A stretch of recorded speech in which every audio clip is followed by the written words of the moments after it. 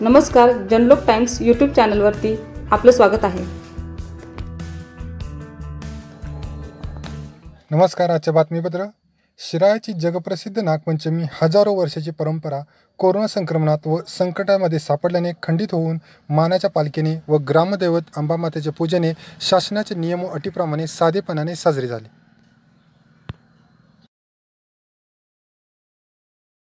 शिराची जगप्रसिद्ध नागपंचमी हजारो वर्षाची परंपरा कोरोना संक्रमणात व संकटामध्ये सापडल्याने खंडित होऊन मानाच्या पालखीने व ग्रामदैवत अंबामातेच्या पूजेने शासनाच्या नियम अटीप्रमाणे साधेपणाने साजरी झाली.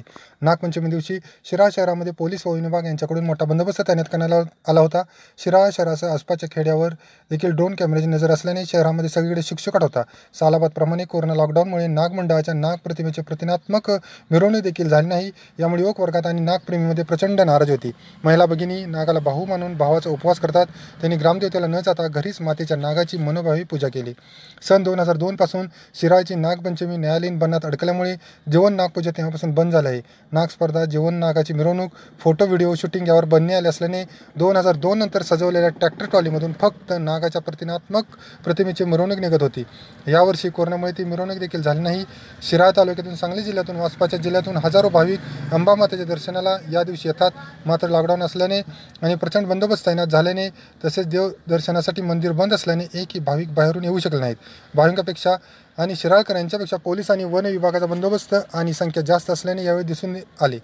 जिल्हाधिकारी यांनी घालून दिलेल्या नियमाप्रमाणे मानाची पालखीचे पूजन दुपारी बारा वाजता प्रमोद महाजन यांच्या घरी करण्यात आले. त्यानंतर ही मानाची पालखी जिल्हाधिकारी व तहसीलदार यांनी ठरवून दिलेल्या मार्गावरून पालखीचे मानकरी कोतवाल व भोई बांधव यांनी अंबामाता मंदिराकडे नेली. दुपारी अडीच वाजता पालखीचा सुरुवात झाली. तीन वाजता पालखी अंबामा अंबामाता मंदिरामध्ये आली. मंदिरामध्ये पुजारी व ट्रस्टच्या मान्यवराकडून विधिवत पूजन करण्यात आले आणि ही पालखी कासार गल्ली येथील वजस्वराच्या मंदिरामार्गे परत महाजन यांच्या घरी ठरवून दिलेल्या वेळेत आणण्यात आली.